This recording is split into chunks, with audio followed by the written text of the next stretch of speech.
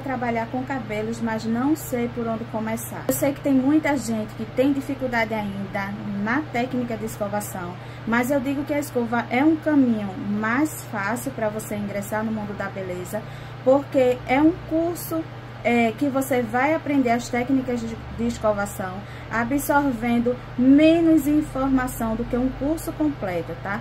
Um curso completo você fica meio perdido, por quê? Porque você não sabe de nada, entra num curso completo e aí é muita informação para você adquirir ao mesmo tempo, tá?